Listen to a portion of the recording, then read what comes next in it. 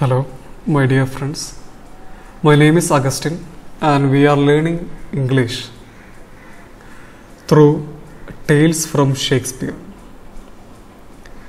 What are, uh, you know, Shakespeare is a great writer. He wrote many dramas. He lived in the period of Renaissance. Renaissance. I will show you the picture of Shakespeare.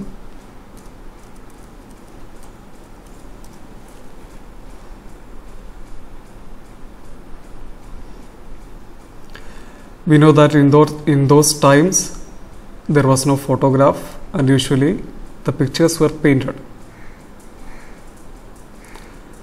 So these are the pictures of Shakespeare.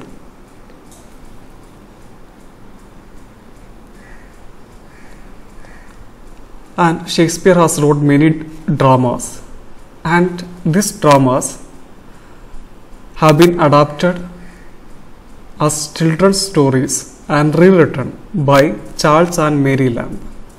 They are brothers and sisters, and I will show you the picture of Charles and Mary Lamb.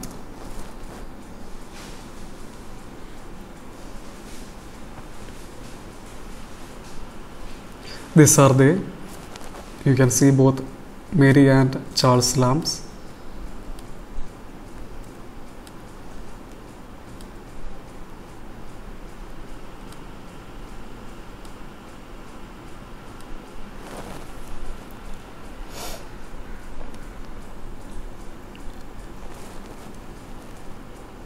So we will be learning English through these tales. The first one will be the tempest. First, the important thing is that you must know what is the what is tempest. To get you the let us I will give you a, a literary definition. Tempest.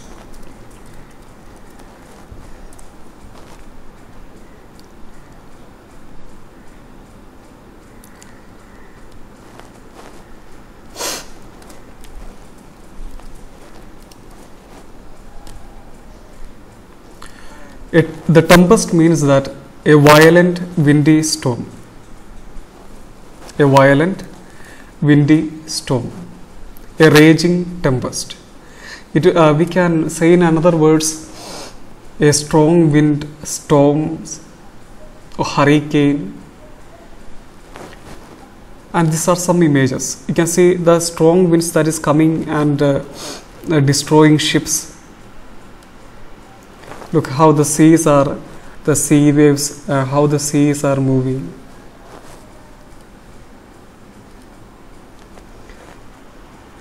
Look uh, a ship is getting uh, uh, submerged due to violent storms and the seas are and the seas air there is a rough sea we can see that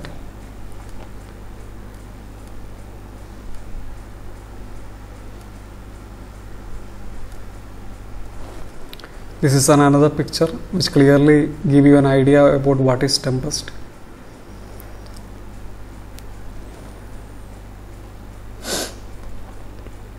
There was a certain island in the sea, the only inhabitants of which were an old man whose name was Prospero and his daughter Miranda,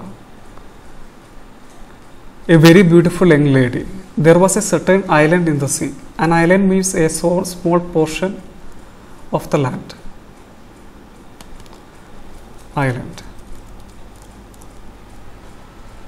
This is what an island looks like. In the sea, you can see in the midst of a river or in the midst of a sea a small portion of a land, and maybe in that in that island there will be uh, uh, houses. Uh, the people will be staying there, or maybe just Andaman Nicobar is an island, and uh, you can say that uh, Sri Lanka is an island, uh, maybe, and uh, our uh, uh, Lakshadweep is an island.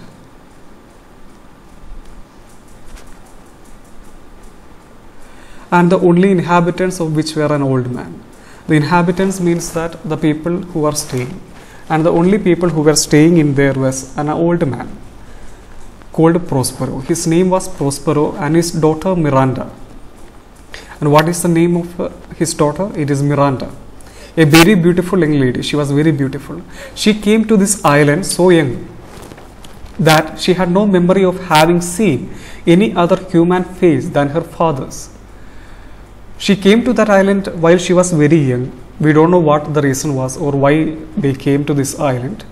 But she was very young, and the only people she has seen is that her father's face. Her father was the only companion to her. What is the meaning of companion? Who accompanies one, who give company to one person, who is always there for some person, one person. They lived in a cave or cell. A cell means you know that there is a present cells are there. A cell is a small, small void space, probably, yeah. For example, just think about a present cell. A cave also you know the idea, made out of rock. It was made out of rock. So we can more like we can imagine there was a in the there will be in, a, in this island there will be many rocks will boulders will be there many rock structures will be there and in these rock structures there will be some holes and it is in these spaces that Miranda and Prospero stayed. It was divided into several apartments. So in this apartment there will be there were many cells, there were many small small caves were there. One of which Prospero his study. And like in the we can see that in an English house, in the English aristocratic house, in the aristocracy means that the topmost people with wealth, with a good family, like that in the English society. English society is at the in the 18th and 17th and 19th century divided into hierarchies and at that time this there, it was something like in a aristocratic society or uh, in a good uh, in a big english house we can see that there will be study there will be there will be a dining room there will be uh, many sections.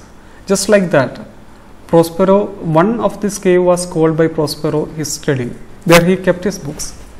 Which chiefly treated of magic. So it was treated of magic. There was magic in it. A study at the time much affected by old learned man so he was very much into magic. He learned magic, he studied magic, and and in this study, in this cell, he learned about magic, and there were many books about magic. And the knowledge of this art he found very useful to him. So, what was it? This knowledge of this art, he found this art very much useful, and uh, uh, let us see why he found it very useful. For being thrown by a strange chance upon this island, it was by a strange chance, it was unexpectedly that he came into this island, which had been enchanted by a witch called Sycorax. There was a witch called Sycorax, and it was Sycorax who enchanted this island, who died there a short time before his arrival. So, before Prospero came into this island, this witch called Sycorax died, and she enchanted this island. What is the meaning of enchantment and what is the meaning of a witch? A witch is that I will give you, which is the someone who does magic, and it is a woman. If it is a man, we will say him as a wizard. You see that in the English, the one who does evil magic, bad magic, can, there is a topmost hat. This is called clock. and I will show you a, the, a, a picture of wizard.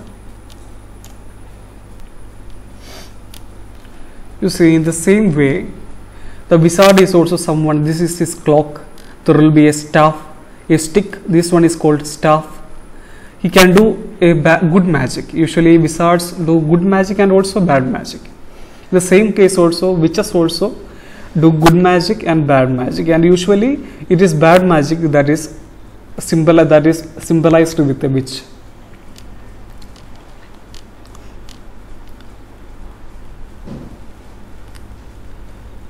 Prospero, by virtue of his art, that means that Prospero, by his art, by his magic, released many good spirits that Sycorax had imprisoned in the bodies of large trees.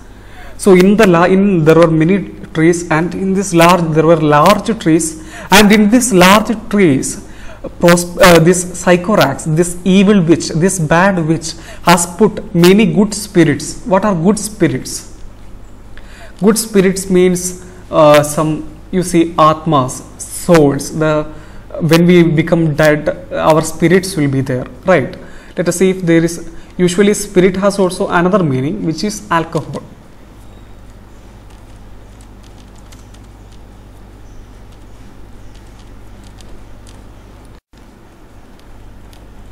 Look here you can see some of the images of a good spirits.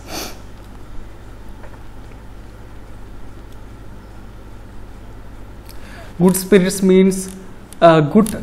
Uh, you see in Malayalam we say prayadam. There is a there is a prayadam we say, but in the good in a good way it does good things. So what are spirits?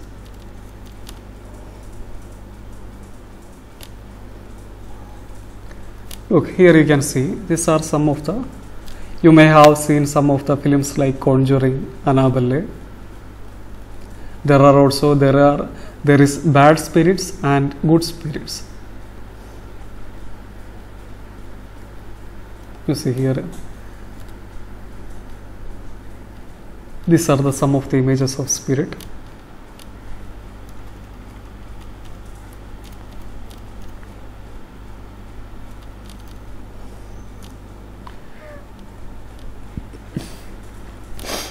This uh, this is the enactment of tempest to play. And in here you can see that these are the uh, spirits that have been that have been set in the stage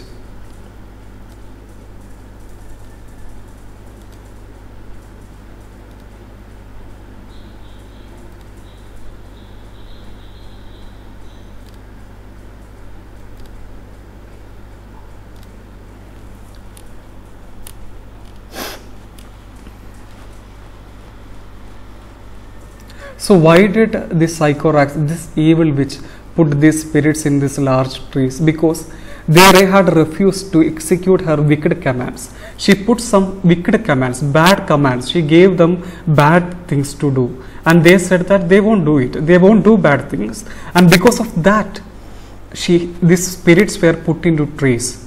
These gentle spirits were ever after obedient to the will of Prospero. So these gentle spirits were ever after obedient to the will of Prospero. It was Prospero who released the spirits, and thus they obeyed him. They willingly obeyed him. There is a difference, you see, because Prospero did a good thing, and they did they they were happy to obey him, and the Sycorax asked them to do bad things, and they disobeyed. Of this, Ariel was the chief. So there were many spirits, and in these spirits, Ariel was the chief spirit. He was the head leader. The lively little spirit Ariel